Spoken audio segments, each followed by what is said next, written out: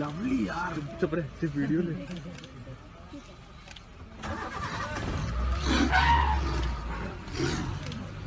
वाह my goodness